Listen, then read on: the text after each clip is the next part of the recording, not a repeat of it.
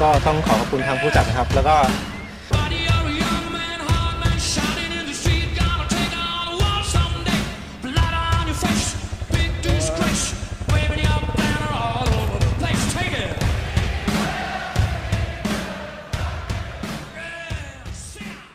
สวัสดีครับพบกันอีกครั้งนะครับกับผมบ๊อบลุยเดี่ยวนะครับ กับลองดู Survival EP นี้นะครับผมจะมาพูดถึง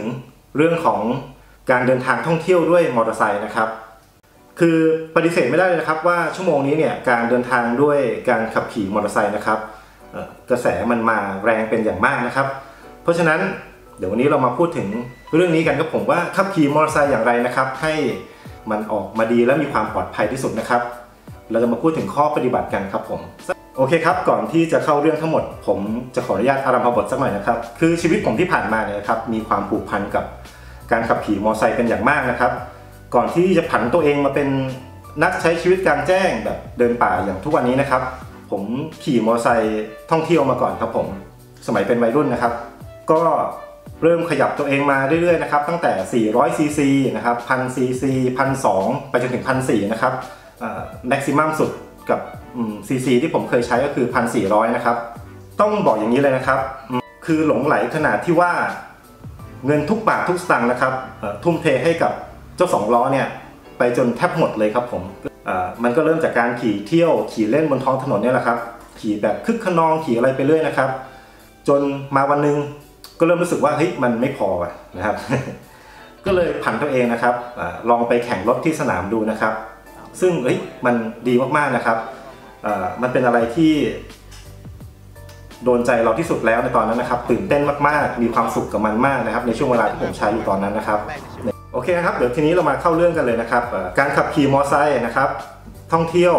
นะครับต้องพูดถึงเรื่องนี้เป็นระดับแรกเลยนะครับ ก็คืออุปกรณ์เซฟตี้นะครับ ซึ่งนั่นก็คือหมวกกันน็อกนะครับสำหรับเพื่อนๆนะครับที่ขี่มอเตอร์ไซค์เดินทางนะครับ หรือว่าจะไปไหนก็ตามนะครับ อย่างแรกที่ควรให้ความสำคัญเลยก็คือหมวกกันน็อกนะครับ ต้องใส่ทุกครั้งครับผม ไม่ว่าจะใกล้หรือไกลออกไปเที่ยวหรือว่าไปกินกาแฟหน้าปากซอยอขี่ไปซื้อแกงนะครับ ก็ก็ควรจะต้องใส่นะครับ เพราะว่ามันเป็นอุปกรณ์ที่สามารถปกป้องอหัวของเราได้นะครับ ซึ่งเป็นส่วนสำคัญที่สุดในร่างกายนะครับ คือสมองครับผม และสำหรับ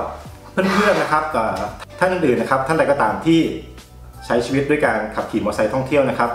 ต้องให้ความสำคัญกับอุปกรณ์อย่างอื่นด้วยนะครับ อย่างเช่นบูทขี่มอเตอร์ไซค์นะครับรองเท้า ถุงมือ หรือว่าจะเป็นเสื้อกากอะไรอย่างนี้นะครับ แต่ว่าถ้ามันยังไม่พร้อมจะซื้อก็ไม่เป็นไรครับผมอย่างแต่ว่าอย่างน้อยนะครับ ต้องมีหมวกกันน็อกก่อนเลยนะครับ ให้ความสำคัญกับมันจะถูกหรือแพงก็ไม่เป็นไรครับ ใส่มันไปก่อนนะครับ อย่างน้อยมันก็ปกป้องชีวิตของเราได้นะครับ อันนี้คือข้อแรกนะครับ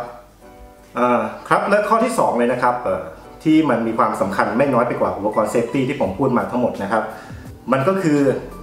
การใช้รถใช้ถนนร่วมกันนะครับ ข้อนี้สำคัญมากนะครับ สมัยก่อนเนี่ยตอนที่ผมยังขับขี่พวกซูเปอร์ไบค์อยู่เนี่ยเพื่อนผมเนี่ยเสียชีวิตไปในอุบัติเหตุนะครับ บนท้องถนนเนี่ยหลายคนเลยนะครับ แต่ไม่มีใครตายในสนามนะครับ ทั้งหมดเนี่ยจะเกิดขึ้นบนท้องถนนครับผม คือแน่นอนอยู่แล้วนะครับ ว่ารถมอเตอร์ไซค์เนี่ยมันมันก็มีซีซีนะครับยิ่งขี่ซีซีสูง ต่อให้เราจะบอกว่าเอ้ยเราจะขี่มันแบบ มีสติอะไรก็ตามเนี่ยแต่บางครั้งนะครับ เวลาที่เราขึ้นคล่อมอยู่บนนั้นแล้วเนี่ยมันก็ยากที่จะควบคุมครับผม จากที่เราเป็นคนควบคุมรถกลายเป็นรถมันควบคุมเรานะครับ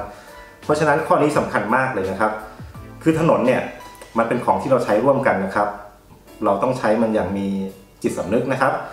มีจริยธรรมครับผมเพราะว่ามันไม่ได้มีแค่ชีวิตเราบนนั้นชีวิตเดียวนะครับ มันมีชีวิตของคนอื่นๆเข้ามาเกี่ยวข้องด้วยนะครับ อยากจะให้เพื่อนๆนะครับ เวลาเดินทาง ขี่รถ ใช้ถนนอย่างมีสตินะครับ ไม่ต้องรีบครับผมอย่างผมเนี่ยนะครับผมขี่มอเตอร์ไซค์ท่องเที่ยวนะครับหลังๆมาเนี่ยคือไม่ได้แตะ superbike แล้วครับแต่ว่าจะเป็นพวกเอามอเตอร์ไซค์ enduro นะครับ dual พวกนี้นะครับ เชื่อไหมครับผมขี่บนถนนเนี่ยไม่เกิน 80-90 ก็ผมอยู่ระหว่างนี้เลยนะครับ เดินทางข้ามจังหวัดอย่างเงี้ยฮะเพราะว่าส่วนตัวเลยเนี่ยผมผ่านจุดที่เรียกว่า เกือบเสียชีวิตกับมอเตอร์ไซค์มาแล้วนะครับ คือมีอยู่วันหนึ่งนะครับผมขี่มอเตอร์ไซค์ออกมาจากบ้านเนี่ยแล้วก็ขี่บนถนนที่มันเป็นถนนในเมืองเนี่ยครับแต่ว่าอัดมาแบบโอ้ร้อยเจ็ดร้อยแปดเลยนะครับ เป็นช่วงสั้นๆนะครับ แล้วทีนี้เนี่ยมันมีรถนะครับ คู่กรณีเนี่ยเขากลับกลับรถตัดหน้านะครับสองคันซ้อนเลยนะครับ ในที่ห้ามกลับแล้วทีนี้ผมก็เอ่อเอาไม่อยู่ครับผมจริงๆ ผมก็ผิดเองด้วยแหละคือผมมาเร็วมากนะครับ จนกระทั่งมือผมเนี่ยไปชนกับท้ายรถเขานะครับ แล้วก็ เบี่ยงซ้ายนะครับ ไปชนกับมอเตอร์ไซค์อีก น่าจะ 8 คันนะครับ ตอนนั้นเนี่ยออกข่าวเคเบิลท้องถิ่นด้วยครับผม มันยังไม่ยอมหยุดเลยครับ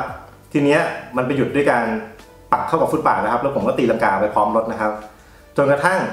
นิ้วขาดครับผม เดี๋ยวผมให้ดูครับเนี่ยนะครับ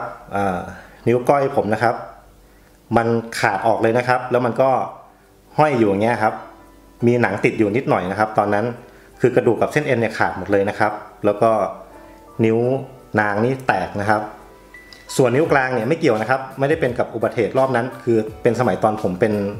นักเรียนมปลายนะครับ แล้วเล่นบาสแล้วมันเป็นอุบัติเหตุครับ มันแตกแล้วมันซ้อนกันจนมันงอไม่ได้นะครับ ส่วนนิ้วชี้เนี่ยเอ้ยส่วนนิ้วโป้งเนี่ยนะครับ อันนี้เพิ่งล้างมีดนะครับ แล้วก็มีดเข้ามานะครับ ไปยันเส้นเลือดเลยครับผมโอเคครับไอตอนที่นิ้วขาดเนี่ยนะครับ หมอเขาก็ต่อให้แหละครับ แต่ว่าจนถึงทุกวันนี้มือผมกำได้เท่านี้นะครับ นี่อยากให้ดูนะครับเนี่ยครับงอไม่ได้เอองอได้นะครับ แต่ว่ากำได้เท่านี้เลยนะครับ มันใช้งานก็ยากลำบากนิดนึงนะครับเอ๊ะถ้าเกิดเพื่อนๆ เคยสังเกตเวลาที่ผมใช้มีดในวิดีโอเนี่ยทำไมมันใช้แล้วมือกำแปลกๆนะครับ มันเป็นเพราะเหตุผลนี้แหละครับสำหรับข้อ 2 ที่ผมอยากบอกทั้งหมดทั้งปวงก็คือนะครับเอ่อธรรมชาติสองข้างทางเนี่ยมันสวยงามนะครับ เราไม่จำเป็นต้องรีบก็ได้นะครับ เราขี่ไปเรื่อยๆ กินลมชมวิวไปยังไงก็ถึงครับผม และที่สำคัญเลยเนี่ย เพื่อนๆต้อง